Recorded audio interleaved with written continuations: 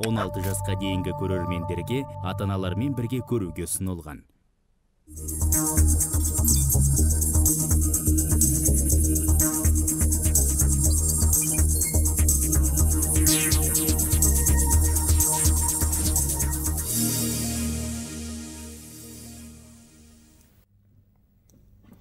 Ассалаумағалейкум қадірменді телекөрермендер.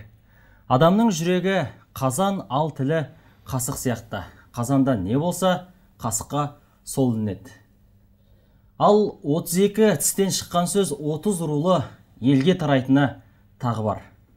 Ал енді біздің әрбір сөйлеген сөзіміз басқа пәле боп жауыспау үшін не істеу керек? Бүгінгі біздің тікелей эфиріміздің тақырыбы осы. Студиямыздың қонақтарын таныстырып өтейін. Ақын құлкерім ағамыз келіп отыр және алматы қаласы қалқаман екі мешітінің бас имамы имамдар институтының директоры кенжәлі қоңыратбайұлы. Ассалаумағалейкум студиямызға қош келдіңіздер. Енді адамға берілген бір үлкен нығметтердің қатарында осы тілімізді айтуға болады екен. Қаншама мақұлықтар бар. Олар сөйлей алмайды ә, керек десеңіз ойлай алмайды. Робот сияқты. Ал біз адам қалағанымызды айтамыз ойлайтын дүниені ойлаймыз жаңалық ашамыз иә. Барлығында осы қарым қатынас құралы ретінде де тіліміздің рөлі орасан. Енді осы кезекте сол тілімізде тілімізге кейде сөзге қоя алмаймыз.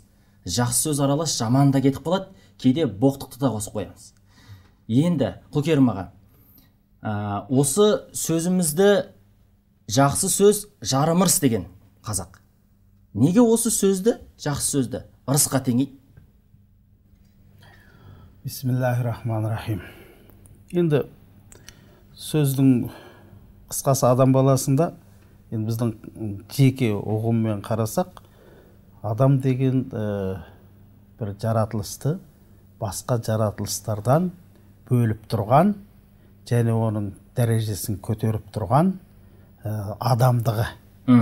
Оның иманы сосын адамға тән қасиеттің ең ұлысы осы сөз деп ойлаймын. Сондықтан да ә, біз барлық ә, бүтін ойлау жүйемізді бүтін ұғымымызды біз осы сөзбенен бір бірімізге білдіреміз. Және осы сөздің төңірегінде ақылменен үндесе біз өзімізді өзіміз тани алады екенбіз. Ә, басқа бәле тілден деп қазақ ә, осыны содан меңзеп айтқан мысалы жаңағы біздің өмірімізде мынандай бір нәрсе болған. Бір патшаның кезінде мысалы жаңағы дүниедегі ең ә, тәтті тағамды маған тауып беріңізші деген кезде тілді алып келген екен. Сосын ал енді алып келді екен? ең ашты тағамды әкесі деген кезде тағы да тілді әкелген екен. Демек тіл жаңағы барлық ә, қазіргі мынау ә, ортақ адамзатқа ортақ білімде ә, қатынас құралы деп қояды ғой. Ол енді оның жаңағы ол бір сатысы бірақ аса маңызды мәселе. Адамның адамдығында ә, тіл яғни тілге мән беру ә, артық сөйлесең ә, барлығы бәрібір жаңағы жамандық та осы тілден жақсы сөйлесең жақсылық та осы тілден. Ә, бізге сөз арқылы ақиқат келіп тұр екен ендеше тілдің мәні зор. Жақсы. Керемет. иә. Жақсы мысал екен. Жақсы тәтті тағамда ащы тағамда тіл. Яғни жақсы мен жаманды ә, саралап айтатын осы тіліміз екен. Енді осы кезекте сол тілімізбен айтқан сөзіміз пайдалы болу үшін өзімізге зияны тимеу үшін біз қандай сөздерді айтуымыз керек? Мхм. Иә альхамдулиллахин барлық мақтау күллі әлемнің раббысы.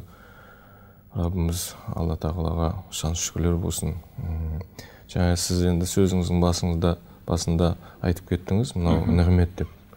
Енді адамға берген нығметтер көп қой аллаға шүкір. Ал енді мұсылман адамға ең үлкен нығметтің бірі бұл иман. Енді осында бір есіме түсіп отыр пайғамбарымыз саллаллаху алейhi бір хадисінден бисмилля рахмани рахим. Қол расул саллаллаху алейhi вассалам ла ястақиму иманан абдан хатта ястақиму қалбуху депті пайғамбарымыз саллаллаху алейhi вассалам ля ястақиму иманан депті адамның иманы толық болмайды тура болмайды депті ля ястақиму иман хатта ястақиму қалбуху депті оның қалыбы мынау жүрегі қалыбы көңілі тазармайынша ол иман болмайды депті сонда тіл тазарғанда онда жүрек тазарады екен жүрек тазарса адамда иман болады екен енді мұсылман адамға біздерге ең қадірлі бұл маңызды иман ғой. Адам дүниеге мұсылман бол мұсылман болып кету. Енді қарасаңыз сол тілге байланысты екен. Яғни жаңағы сөз хабарымыздың басында айтқанымыз жүрегіміз қазан қазанда не болса тілден сол шығатын болып тұр ғой сонда иә? Иә иә. Сондықтан да әрине сөздің ең ұлығы бұл алланың кәләмі ғой. Енді енді алланың сөзі ол жаратылыстан адам жаратылмай тұрып пайда болып алла жаратып одан қияметке дейін ол өз үкімін жүргізеді. Өйткені құран еш уақытта өзгермейді алланың сөзі діні де солай. Сондықтан ең асыл сөз бұл алланың сөзі құран ал енді әрине бізде енді мынау шариғат ағып тұрған бұлақ дейді ғой. Ә, бұрынғылардың айтқанын жағалай өткен құрақ дейді. Иә. Ал бұрынғылар ол кім? Пайғамбарлар ғалымдар ізгі салих жақсы адамдар. Ал енді ағып тұрған бұлақ болса бұлақ оны сондай таза нәрсе ол алланың дінінде шариғатында мін жоқ. Иә енді әрине адамның ісіне әрекетіне қарап дінге баға беруге болмайды. Ол дін алланікі. Ешкім оған. Сондықтан тіл бұл жаңа айтқандай мынау қарасаңыз тіл мынау о іште жатады. Оны ә, тісте қорғап тұрады дуал болып. Иә. Одан кейін тістен кейін не ерін тұрады. Адам сөйлеу үшін ерін көмек бір емес екі қақпаның ар жағына тастаған дейсіз иә ғой рұқсат беру керек. Иә. Соншалықты тілді алла тағала қалай жаратып отыр. Сондықтан ол тіл жаңа орыс орыстар айтады ғой без костей деп. Оның сүйегі жоқ. Сондықтан әрине бұл тіл өте жаңа аға айтып отыр жақсы керемет. Жаңа тамаша айтып қалдыңыз ғой. Ә, бірінші адамның жүрегінің тазалығы керек деп. Қарап отыратын болсақ аға өзіңіз сөз зергерісіз. Ақындық ә, бұл оңай дүние емес. Ә, сіздердің өлеңдеріңізден қаншама ұрпақ үлгі алады. Соны жаттайды және жүрегіне сіңіреді. Иә? Ал енді сол сөз сөйлеген кезде өлең құраған кезде тіл тазалығын сөз дұрыстығын қаншалықты басты назарда ұстайсыз? Ол да жаңағы ә, мына кенже бауырым айтқандай жүректің тазалығына саяды екен бәрі айналып келіп. Жүрегіңіздің тазалығы иманнан екенін айтты ғой бауырым. Дәл осы мәселе сізде өзіңізді орнығып сәулеленген кезде сонда барып сіз жаңа қолыңызға қалам алып жазған дүниеңізге мән береді екенсіз. Ал оған дейін ақылыңызға не келді? Қиялыңызға не келді? Қысқасы қиялдың артынан ереді екенсіз оған дейін.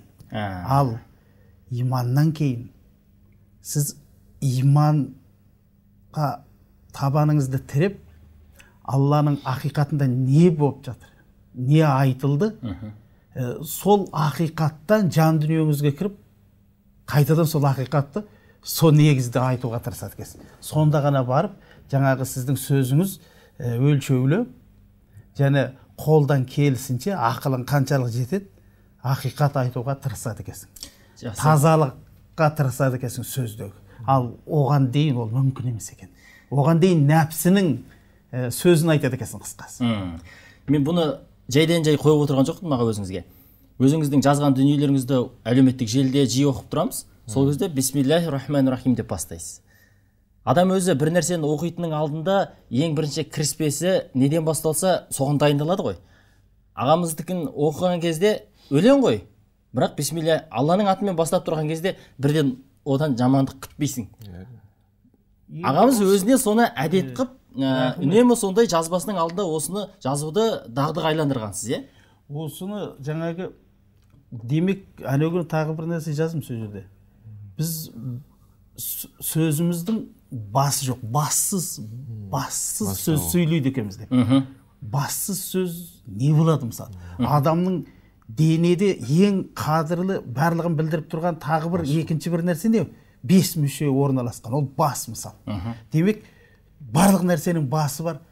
Барлық нәрсенің басы қысқасы сөз жөнінен алып айтқанда іс жөнінен алып айтқанда ол бисмиллахи рахмани рахим екен ғой. Бәрекелді. Олсыз ары қарай ештеңе болмайды. Ал одан бастағаннан кейін енді не айтуды ойланасың? Сөзсіз да сөз бастаған адам Иә. немен Иә, аяқтайтын иә, да немен жорамалда аяқтауды көр тырысасың жас керемет. иә, енді ә, көбінесе біздің айтатын ә, сөздеріміздің арасында қалжыңға сүйенеміз ғой.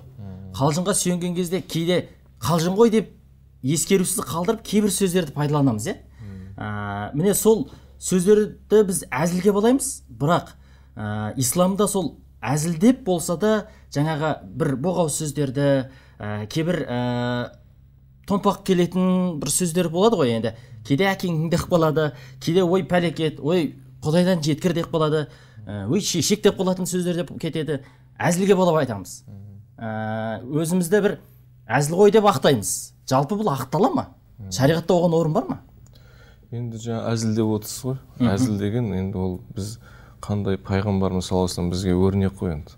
Әсілінде қандай да бір нәрсеге дәлел сұраққа жауап алатын болсақ құраннан одан кейін сүннет пайғамбарымыз пайғамбарымыз саллаллаху алейhi өзі де ә, әзілдеді. Бірақ әзілі пайғамбарымыздың ақиқат болды шындық болды. Шындық болды. Мысалы бір- қалай ол шындық ақиқат екенін қалай білеміз? бір сахаба келді пайғамбар я расулалла ертең біз ә, дініміз үшін отан үшін жихадқа шығамыз деді. Иә. Сонда мен ол мінетін көлігім жоқ деді. Жарайды мен мен көлікті өзіңе мен берем тауып берем деді пайғамбарымыз. Ол аттың аттың баласын саған берем деді. Сөйтіп айтты.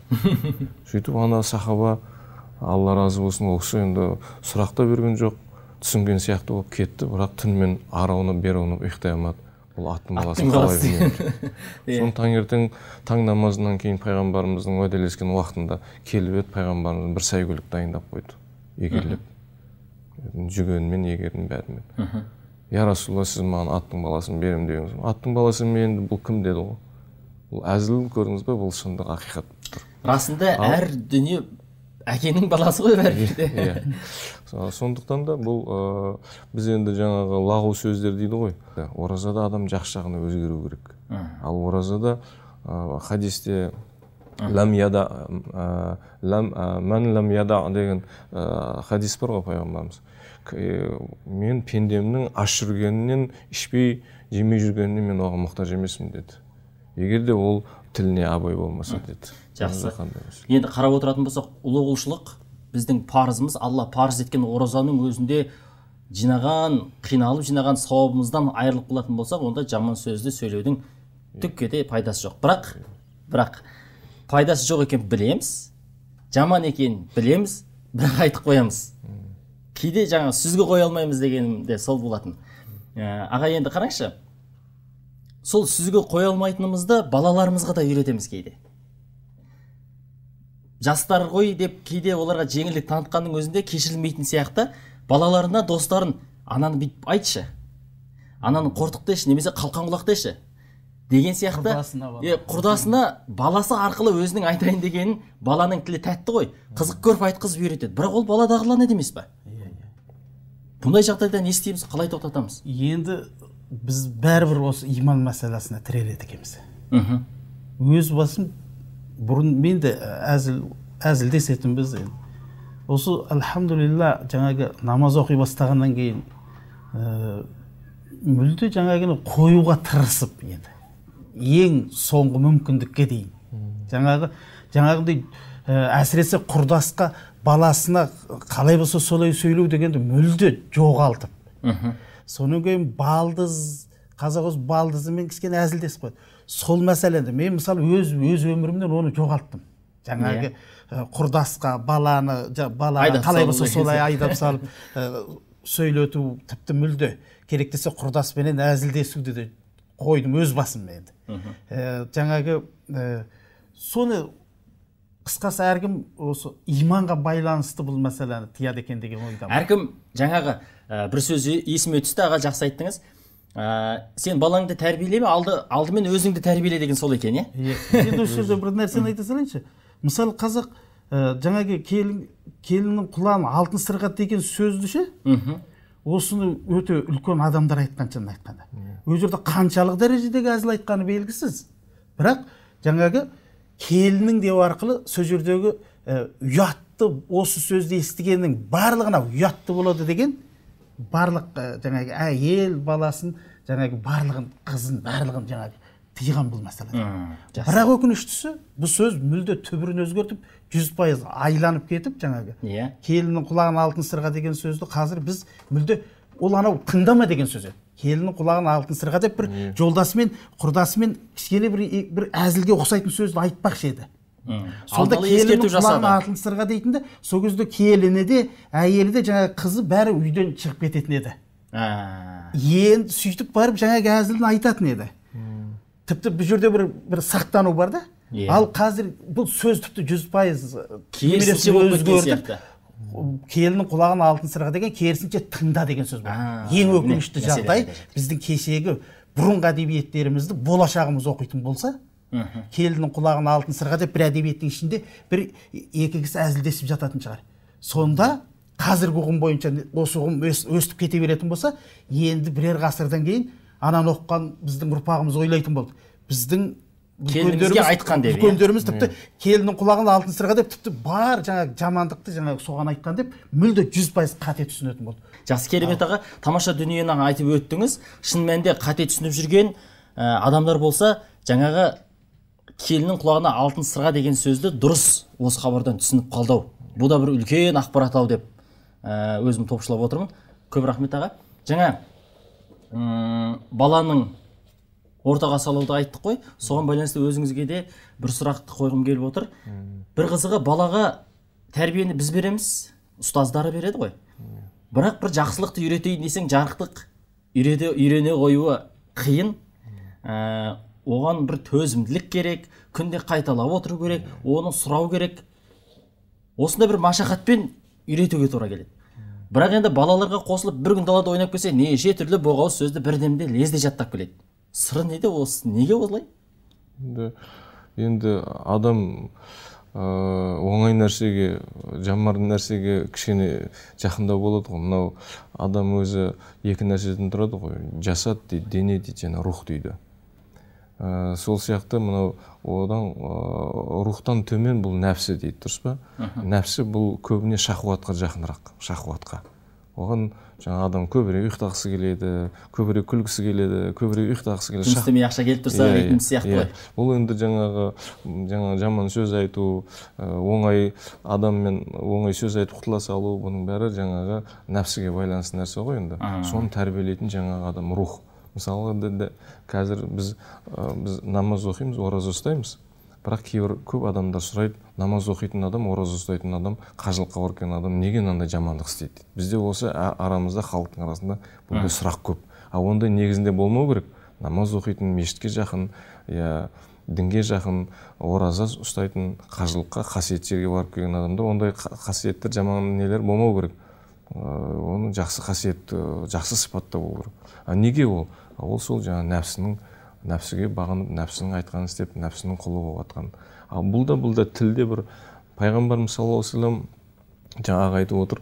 Пайғамбарымыз саллаллаху алейхи вассалам осындай бір хадис есіме түсіп отыр. Ғұламалар оны шарқылаған ол хадисті. Наха дейді ғой яғни қайтарған. Анил олитот яғни анау адамды кейде бұл да тілден болатын нәрсе. Бір кейбір сұрақтарды қояды да адамдар. Адамның басын мең қылатын сұрақтар. Ол керек емес. Бұл да тілден болатын нәрсе. Мұны пайғамбарымыз саллаллаху алейхи вассалам осындай сұрақтардан сондай сұрақ қоюдан адамдарды сахабаларды үйретті қайтарды. Нәхи яғни қайтарды. Бұндай сұрақты керегі жоқ қоймаңдар деді. Жақсы керемет аға. Бізге хабарласқан көрерменіміз бар екен. Ә, сұрағын тыңдап алсақ одан кейін ары қарай әңгімемізді жалғастырамыз. Ассалаумағалейкум сізді тыңдап отырмыз. Қандай сұрағыңыз бар? Мен мынау сұрағым мынау тіліңді тар- тартып сөйле деген неге қалай қарайсыздар? Соны қалай жауап бере аласыздар ма? Соған. Мхм. Жақсы рахмет. Алла разы болсын. Тіліңді тартып сөйле десе бір ерегес кезінде айтылатын сөз сияқты болып елестеп отыр маған. Тіліңді тарт деп айтамыз ғой. Осы неге айтылды екен мағынасын білгісі келеді бауырымыз. Өзіңіз айтсаңыз аға енді бұл сөз сөз өзі ақ айтып тұр ғой. Тіліңді тарт деген жаңағы былайшасын айтқанда ә, аузынан қазақ айтады. Оның аузынан ақ ит кіріп көк ит шығады деп. Көрдіңіз ба ана? Не бір жаңағы боқтықпенен тоқтай алмай сөйтіп кететін адамдар болады енді. Сол кезде жаңағы тіліңді тарт деп. Қысқасы ол қысқасы жаңағы ол одан ары өтіп кетсе мүмкін ұрыс одан ары өтіп кетсе төбелес шығатын деңгейдегі дүниелер ғой бұл енді. Сондықтан оның өзінен өзі жаңағы ұрыстың сол бір үлкен тоқтату үшін айтылған нәрселер ғой енді оны. Енді оны түрлі жақтан қарауға да болатын шығар. Дегенменен Жақсы. тоқтатуға қысқасы. Жақсы керемет. Ә, тыйым ғой. жаңа да қозғап өттік қой. Ә, сол сұрақты кішкене кеңірек айтып өтсек. Боқтаған кезде шығатын боқтық сөздер бар. Боқтық сөзді өзіміз айтамыз. Ә, әсіресе ішінде қарғыс аралас шығады. Мысалы мен тізіп жазып қойған екенмін. Ә, есуас ақымақ шешек атаңа нәлет айта берсе көп енді. Өте жаман естілген кезде иә. Ашуланған кезде бұл автоматты түрде біздің аузымыздан шығып кетеді. Оны байқамай да қаламыз. Енді ә, ашуланған кезде адам өзінің ашуын сол сөздерді айту арқылы ғана тарқата ма әлде сол ашуын сол арқылы баса ма? Әйтеуір осы сөздерді айтуға құмармыз ғой. Енді оның ашуланған кезде оның орнына пайдаланатын қандай бір сөздер бар?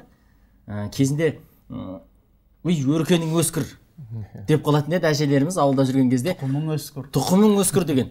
Қарасаң боқтап тұр бірақ жақсы бір тілек сияқты. Мүмкін осындай сөздерді ә, алмастыру керек пе? Қалай алмастырамыз? Жолы қандай? Аға өзіңіз көпті көрген халықтың ішінде жүрген ә, имамдарымыздың бірісіз ғой. Айтып өтіңізші бір кеңес ретінде. Мынау арабтарда сөз бар ә, тәркүл әдат дейді мужбил мараз дейді.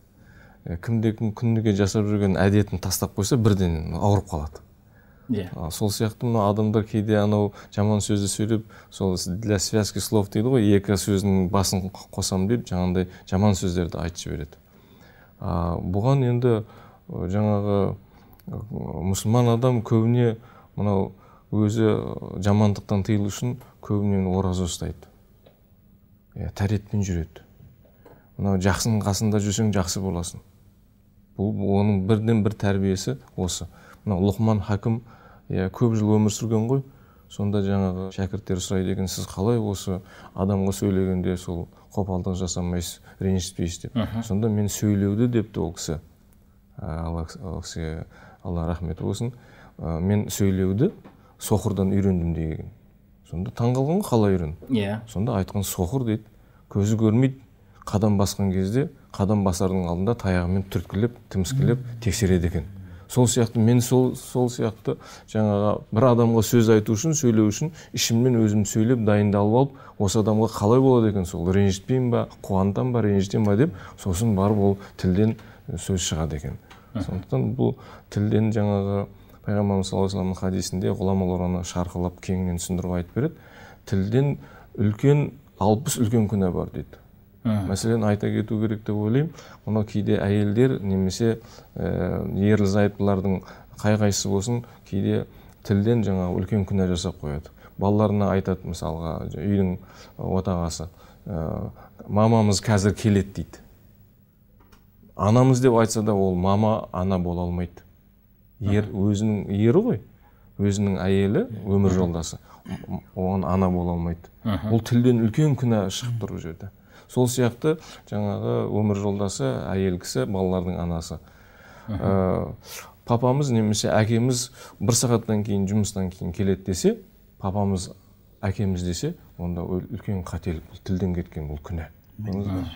Ал енді байқамай қояды кейде ерлі зайыптылардың арасында болған нәрселерді әйелдер көбіне айтып отырады. А былай былай деген сияқты. Ол сөздің шариғат отбасындағы дүниені отбасындағы басқа басқа ол шариғатта шар- ол бар дүние болса да оны айтуға болмайды. иә, иә. бұны, бұны көп адамдар байқамайтын шығар. Білсе де мүмкін оны жеңіл санайтын шығар. Бұл үлкен күнә. Бұл да тілден келетін. Екі адам екі адам сөйлесіп отыр мысалға. Екі адам. Сосын екеу екеуінің біреуі немесе жан жағына қарап қояды былай былай.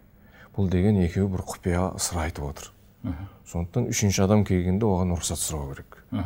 Көрдіңіз ба бұл да тілден болатын. Ал енді екі адамның құпиясын барып айтып қойса екеуінің арасындағы соның біреуі. Бұл да бұл тілден болатын үлкен күнә. Жақсы керемет. Ә, енді сіздің ә, айтқан сөзіңізден ә, бір оқиға есіме түсіп отыр. Ә, бір екі қыз болған екен. Біреуі жылап отыр біреуі күліп отыр дейді. Қария келіп одан сұрапты. Ей қызым неғып күліп отырдың десе. Менің күнәларым кішкене кішкене ұсақ ұсақ күнәлар ғой. Жай әшейін күнәлар деп екіншісі менің күнәларым таудай сол күнәларыма қорқып жылап отырмын депті. Әлгі ә, ақсақал айтқан екен. Онда келіңдер сендерге бір тапсырма берейін орындасаңдар. Мына ыдысқа күнәларың сияқты тастарды жинап келіңдер. Сол күнәларыңның өлшемінде жинап келіңдер депті. Жаңағы таудай күнәлары бар екі үш тасты салған кезде көтеріп алып келген үлкен тас шелекке.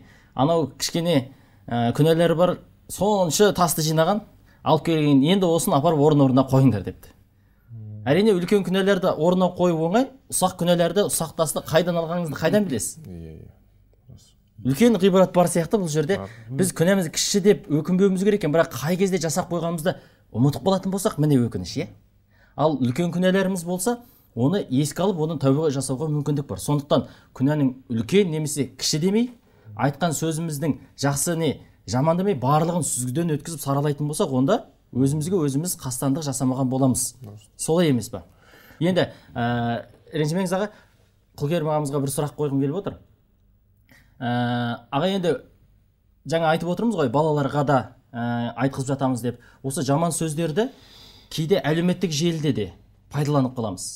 Ә, жаңағы пікір қалдырып жатамыз біреуді боқтап жатамыз. Мысалы ә, өткен жылғы бір мәлімет бойынша фейсбукта ә, жаңағы пікір қалдырған адамдардың әлеуметтік желіде жазба қалдырған адамдардың жүзі бұл өмірден өтеді дейді. Әр күні жүз адам өмірден озады дейді. Яғни ол өзіне бір сол айтқан сөзі арқылы бір қастандық жасады. Біреуге жақтырмайтын ә, сөз айтсаң шықсы сыртқа деп айтады ғой жаңағы. Сол сияқты сол адамдар өзінің жазбасы, жазбасы арқылы бұл өмірден өтіп кететін жағдайлар кездесіп жатыр екен. Енді осы кезекте де әлеуметтік желіде жазған сөзімізге ә, айтар ойымызға да мән беруіміз керек шығар әлеуметтік желі, желі деген үлкен әлем. Ең үлкен әлеуметтік желілердің қатарында фейсбукты жатқызуға болады екен. Әсіресе өзіңіз сияқты салиқалы ел ағалары көп отырады. Инстаграмда қазір жастар. Ә, мысалы 25 жасқа дейінгі мектеп жасынан 25 жасқа дейінгі балалардың көбі вконтактеде отырады екен. Сіз бір сөзді айттыңыз мыңдаған он мың жүз мыңдаған адам бір пәсте оны көріп шығады. Яғни сіздің бір сөзіңіз арқылы қанша адамды улап қанша адамды жақсылыққа шақыруға болады деген сөз. Иә? Тағы иә мінекей керемет.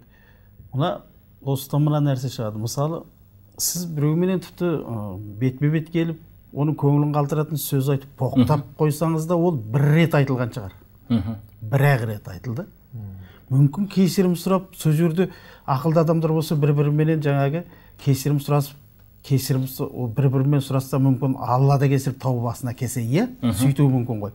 Ал енді жазған сөз өте қатерлі. Неге десеңіз ол жазған сөз сол жазылған уақыттан ары қарай әр минутында әр секундында қызмет етеді ол ары қарай. Ол дүниеден өткізсе мүмкін ол, ол сөзі егер осыны осы әлеуметтік желі қияметке дейін жалғасса ол жаңағы бір ауыз сөзі жазылып қойған үшін. Қияметке дейін қанша миллиардтаған адамның алдына баруы мүмкін ол сөз. Немесе ол жаңағы күнә жиюда жаңағы сөз.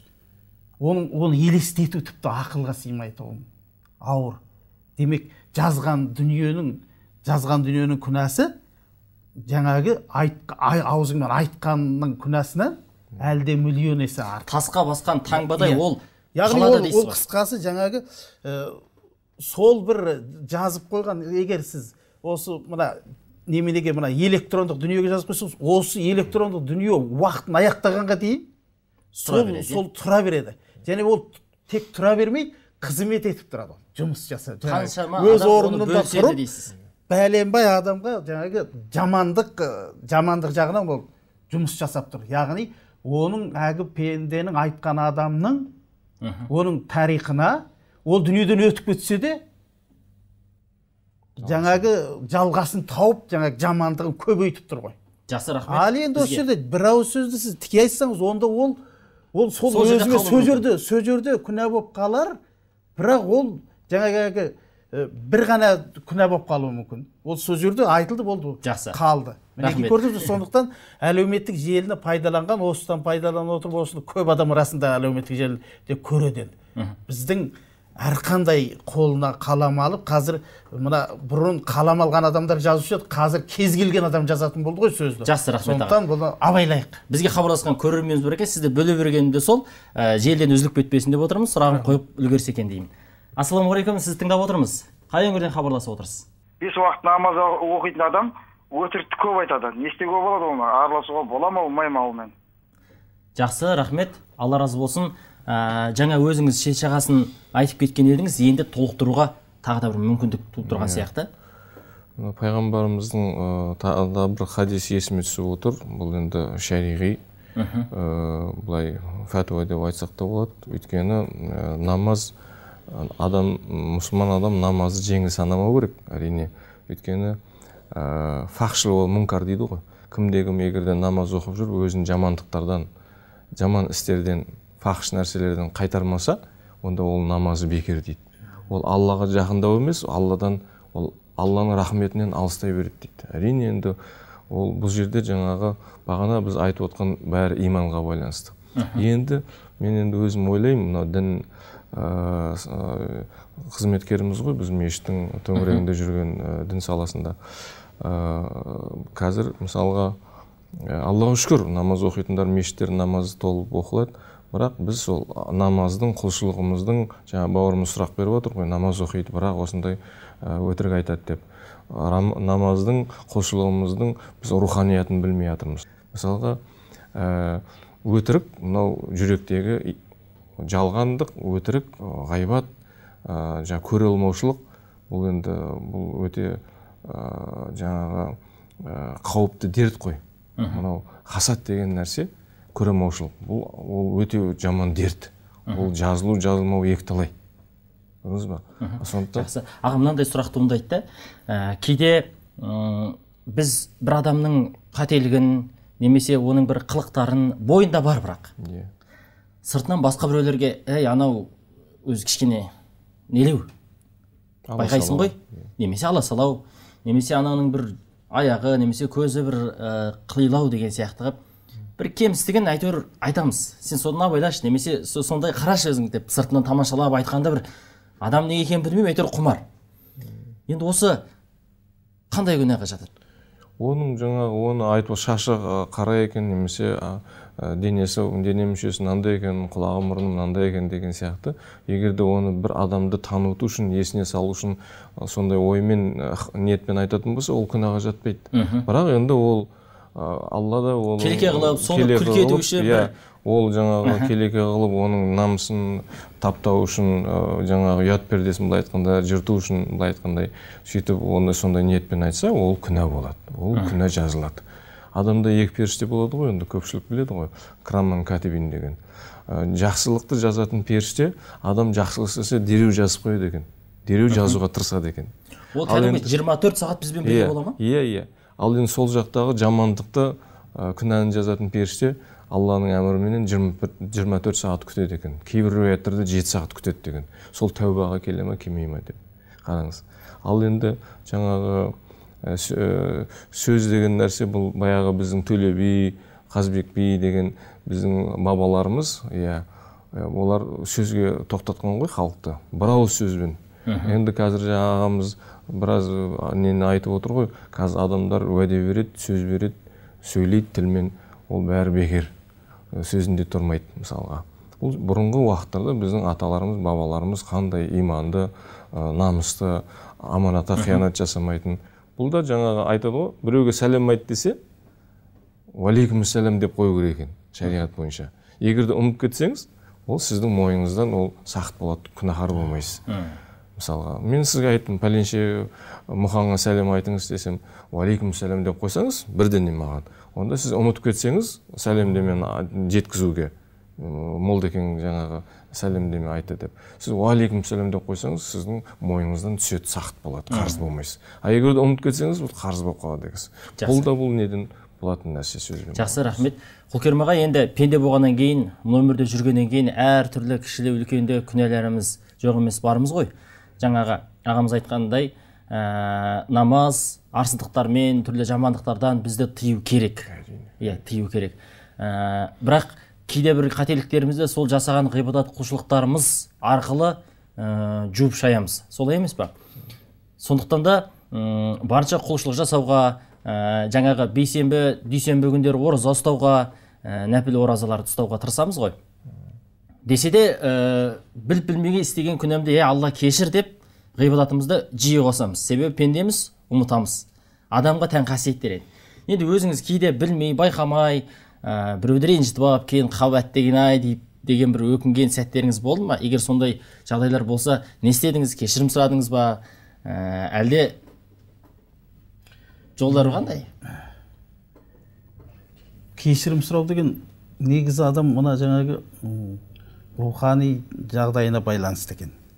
Кешірім сұрау негізінде осы енді кішкене өзіңді иман күшіменен құлшылықпенен кішкене ә, сөйтіп өзіңді былай тәрбиелеуге тырыспасаң бір адамнан кешірім сұраудан ауыр нәрсе жоқ екен. Ә, сондықтан енді қолдан келісінше ә, кесір, кешірім сұрауға тырысып жүрміз ғой мысалы ол күнде күнде тіпті кеші қателіктер болып жатады шынын айтқанда. Енді өз басым енді қолдан келісінше кешірім сұрап жүрмін. Кешірім сұрай алмай жүрген де адамдарым бар әзір. Бір осы кешірім сұрайын осыдан деп іздеп барып таба алмай қалған сондай сондай да болды. Бірақ ниетімде жаңағы кешірім осы кешірім сұрап кетуге тырыссам деп кейде тіпті жаңағы әлгі әлеуметтік желілерде жақсы болды. Соған кешірім сұраймыз. Осы егер қате болса кешірші енді алланың ризасы үшін деп. Түрлі түрлі жолдар бар екен. Негізі кешір кешірім ол кешірмесе қиын екен ғой иә молдеке иә? Жақсы. Дәл осы сұрақтағы өзіңізге қояйыншы. Ә, кешірім сұрай ренжіттің жарайды. Ә, кешірім сұрағың келеді нәпсіңді жеңдің тәуекелге бардың. Бірақ әлі кісіні таппайсыз. Не істейміз ондай кезде. Қолыңнан келгенше жақсылық істе. Жақсылық істе. Сол жақсылығыңды сол кісіге де бағышта. Кейбір адамдар жаңағы біреуден қарыз алып оны таба алмайды ғой жағдай келіп берейін десе. Соны жағдайы жоқ адамдарға берсе сол кісінің атынан сол соның ы, несін өтейді қарызын өтейді мысалы сол сияқты. Қолдан келгенше жақсылық істеу керек. Баяғыда біздің мен ақсай мешітінде тоқсан жыл тоқсан алтыншы жылдары қызмет жасап жүргенде имам болып бір ы, осы оңтүстіктен келген бір ағамыз бар тұғын ол дүниеден өтіп кетті. Сондай бір ақкөңіл адам еді. Үлкен қызметтерде істеген. Кейін келіп намазға оқып намазға кіріп намаз оқып жүрген ақсақал ғой. Бізге де бір сондай бір не болады таныс адам. Сонда ол кісі үйреніп қалған советтің кезінде жаңағы жұмыс істеп адамдармен қарамағында адамдар бар. Енді ол қатты қатты сөйлемесе болмайды кейбір адамдар түсінбейді. Сөйтсе жаңағы ойбай ойбай деген сөзді айтады. Мен айтамын аға ойбай демеңіз алла деңіз деп. Ойбай алла дейді ғой алланы иә ойбай алла ол күнә екен ғой енді айтпаймын деген сияқты. Бірақ анау ойбайын әлі тастай алмай жатыр да. Сол сияқты адамдар мынау шынында да рамазан айында көп жамандықтан тыюлға болады. Рамазан айында жаңағы пайғамбарымыз саллаллаху алейхи вассалам айтты ғой тахасабу анфусакум деді. Өздеріңе өздерің күніге төсекке жаңа яғни ұйқыға жатарда өздеріңе есеп қысап қойыңдар. Мен бүгін кімді ренжіттім немесе қандай жақсылық істедім? деп бір өздеріңе есеп қысап қойыңдар деді. Соның бірі мынау тілден болатын нәрсе. Жақсы рахмет. Енді ә, әңгіме айтуға құмармыз. Басымыз қосыла қалса болды әйтеуір гөбір гөбір әңгіме.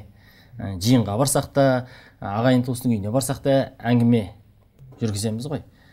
Енді сол әңгімеміз сауапты болу үшін құлкерім аға қандай әңгіме айтуымыз керек? Енді өздеріңіз ә, қандай әңгімені айтасыздар жиналғанда? Ол бірақ сауапты болу керек бос болмау керек қой енді. Ақыр жиналып бір әңгіме айтқан кезде. енді қолдан келісінше ол сол жердегі отырған адамдарға да байланысты Ә, сондықтан да енді мүмкіндігінше жаңағы жора жолдаста сіз намаз оқи бастасаңыз жора жолдасыңыз да былайшасын айтқанда сол өзі лайық ыңғайлана бастайды екен. Ә, кейбір оқымайтын ә, оқымайтын жолдастар өзі ақырын ақырын ол сен алдыға тартсаң да ол жаңағы ептеп сіздің ортаңыздан шығып кетеді екен. Содан кейін енді қолдан келісінше жаңағы бірыңғай сондай ә, адамдарменен араласуға тырысасың дей тұрғанменен де ә, жаңағы ә, орталарда басқа әңгімені қанша тіпті намаз оқып тұрса да басқа әңгімені жақсы көретін де жолдастарың бар. Тырысасың ә, ылғи да алланы еске салуға тырысасың. Соған енді о- әр жерінде соны сыналап кіргізіп айтуға тырысасың ғой енді. Сол жақсырақ әңгіме айту үшін жаңағы иә. Керемет рахмет. Енді сөздің бәрібір сұрауы бар. Ә, енді сол айтқан сөзіміздің жаңағы ғайбатымыздың өсегіміздің бізге қандай зардаптары зияндары бар аға? Осыны бір хабардың соңына таяп қалдық айтып өтсеңіз. Ә, жаңағы бізге қандай келтірер зардабы бар? Афатул әлім мәселесін дейді ғой. Ілімнің немесе афаты сәләсін дейді діннің апаты үшеу ә, мысалға сөйлеген жерде оны тыңдамаған қауым ол тыңдамаған жерде ол сөйлемеу керек. бір на- насихат па уағыз ба? Біздің ұстаздарымыз алла рахметі болсын айтатын балам бір жиынға барғанда амандасып сәлем беріп сәлем алып болғаннан кейін алла сөзінен пайғамбардың сөзінен айт дейді. Ең пайдасы сол. Жақсылыққа шақырып жамандықтан қайтару. Жаңа сіз айтып отырсыз ғой жақсылыққа шақырып жамандықтан қайтару. Жаңа аға айтып отыр. Өзінің ортасына байланысты жаңағы нені айту керек. Ал енді әрине жаңағы айтып отырмыз ғой ы, әдептіліктің анасы ол аз сөйлемек деп. Енді құранда не айтады? Құранда айтады дауыстарыңды сөйлегенде ахахалап жаңағы қатты енді бұл қатты айтылған болу керек кейбір адамдар өзіне солай қабылдауы мүмкін есектің дауысындай болмасын дейді. Соншалықты сол жануарды соны ы, мысал қылып отыр қатты дауысын көтеріп менен басқа ешкім сөйлемеу керек деген сияқты. Кейбір бізден кейде байқаймыз кейбір адамдар болып қалады енді. Ол мектеп көрген ба көрмеген ба деп иә сөйлеген осындай болады деп. Мұхаммед пайғамбарымыз саллаллаху бізге үлгі ғой үмметке барлық мұсылман қауымына. Ол мұхаммед пайғамбарымыз өз ісімен де ә, сөзімен де еш уақытта қопал болған емес қопалдық жасаған емес. Көрдіңіз ба қандай сондықтан енді жаңағы ә, сөз бұл ә, сөз айтылды ма? Ол атылған оқпен бірдей ғой. Жақсы. Рахмет. Алла разы болсын. Аға енді өзімізді жақсы сөйлеуге қалай дағдыландырамыз? Кезінде енді пайғамбарлар пайғамбарымыздың қасындағы сахабалар аузына тас салып жүріпті деп Бәкір. естиміз иә риуаяттан иә. Ал енді біз тас салып жүреді ол деңгейге біз же- жете алмай жатырмыз. Бірақ енді қолдан келісінше зікір жасауға тырысу керек екен. Менің өз жеке ойым. Сол зікір жасап өз басым енді шынымды айтсам осы тәсбих деген нәрсені қолыма ұстауды әдетке айландырдым. Ол ешқандай да бір жаңалық емес жаңағы Иә. неменеге қосатын нәрсе емес. Оны өйткені мен оны соны ұстамасам қызық. Өзім қысқасы соны ұстамаған күні зікірім мана ұстаған күнгіден аз болады аз болады анау еске салушы бір жағы, еске иә? салушы бір жағы. Жаңағы ортада бір сөйлеп тұрып бір, бір әңгімені айтып тұрғанда сәл босаса міндетті түрде менің миым анаған үйреніп алыпты жаңағы. Бәрекелді ол, ол ешқандай жаңағы бөтен басқа нәрсе емес. Содан кейін ана жерде ең кемінде деп немене болып қалуға жаңағы болмағанда екі үш рет айтып өзіңді қайтаруға жаңағының несі бар. Әрі сен алла тағаланы еске аласың Э, осы жаңағы сондай бір нәрсенің бір жолы осы ма екен деп ойлаймын өзім. Иә. Мхм. керемет. Ә, алла разы болсын. Бүгінгі ә, хабарымыз бір пайдалы хабардан болды деген ойдамыз. Өздеріңізге көптен көп алғыс білдіреміз. Ә, сөйлейік сөзіміз дұрыс болсын жақсы сөз айтайық жақсы сөзіміз өзімізге қайырлы болсын. Әрбір айтқан сөзімізді ә, бақылаушы періште бар деп айттыңыз. Сол періштенің жазатын тек қана жақсы сөзіміз болсын дейміз. Көптен көп рахмет сіздерге. Ә, абай атамыздың қара сөзінде келеді. Адам естіп көріп ұстап тұтып ескерсе дүниедегі жақсы жаманды таниды дағы сондайдан білгені көргені көп болған адам білімді болады дейді. Естілердің айтқанын естіп жүрген адам есті болады дейді. Ал бірақ есті болуға сол есті дегеннің өзі жеткіліксіз. Егер соны көкейге тұтып іске асырмаса дейді. Ал біз әрбір айтқан сөзді іске асыру үшін өзіміз соған дағдылануымыз керек екен. Әрі сөздің төресі кітаптың анасы құранды оқитын болсақ зікіріміз аузымыздан түспесе онда біздің қазанымыз яғни жүрегіміз жақсылыққа толады екен. Жүрекке ең жақыны ауыз ал тілден шыққан әрбір сөз жүрекке барып орнығады екен. Ал жүрегіміз жақсы дүниеге толу үшін біздің аузымыздан шыққан сөзіміз құнарлы дәмді мәнді болу керек екен. Сөзіміздің соңы жақсы сөз айт емес елге еш ерсі жұртқа дайым жылы сөйлеп төселші деп аяқтаймыз. Аман сау болыңыздар.